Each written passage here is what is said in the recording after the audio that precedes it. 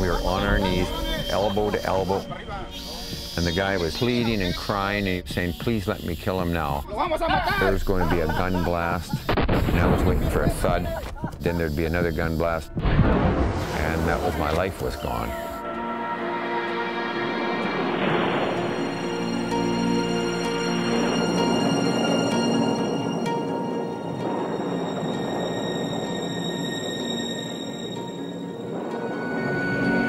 For 10 years, Don Starkell, a divorced dad, talked to his two young sons about taking them on a canoe trip.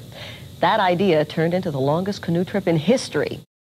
It's the kind of trip most people only dream about a journey from the cold of Canada to the warmth of Brazil, all by water.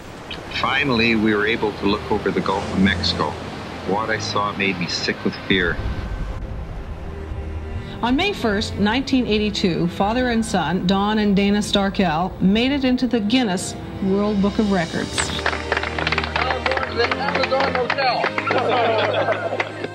All aboard for the Amazon Hotel. Those were the last words his friends would hear in nearly two years.